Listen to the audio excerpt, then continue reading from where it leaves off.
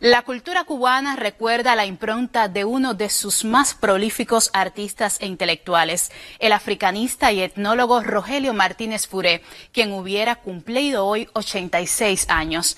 Desde su perfil en Facebook, el Ministerio de Cultura destacó su trayectoria como folclorista, compositor, escritor, traductor y condición doctor honoris causa del Instituto Superior de Arte, mientras que en esa red social el Consejo Nacional de las Artes Escénicas subrayó su inquieta necesidad de divulgar las tradiciones ancestrales que lo convirtieron en un creador estudioso al que con justeza le fueron otorgados los Premios Nacionales de Investigación Cultural 2001 de Danza 2002 y Literatura 2015.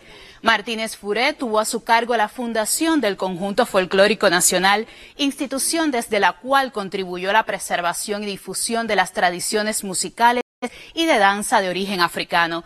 También dedicó su vida al magisterio, a la formación de investigadores, profesores y artistas de Cuba y el mundo. El matancero Rogelio Martínez Furé falleció en 2022, legando una extensa obra que agrupa una veintena de títulos, folletos y publicaciones, así como de composiciones musicales. Mi identidad no la vendo, ni la presto, ni regalo. Me acompañará por siempre a donde quiera que vaya. Hasta después de la muerte seguiré siendo cubano. Y eso que asumo y proclamo, caribeño.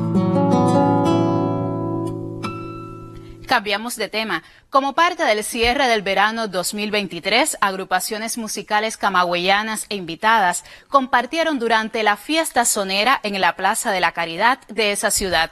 Tenemos el reporte. Enriquecieron la música popular con sus temas.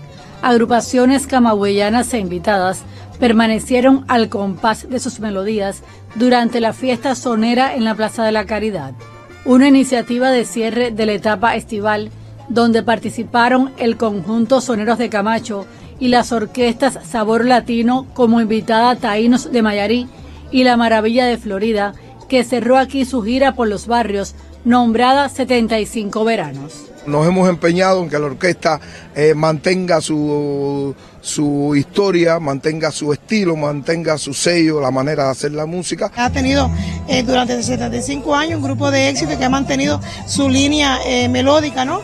en todos los espacios de, que se han venido presentando. El Comité Municipal del Partido y la Asamblea del Poder Popular en el territorio reconocieron a la agrupación insigne de la provincia por la trayectoria y sus presentaciones en repartos de la ciudad.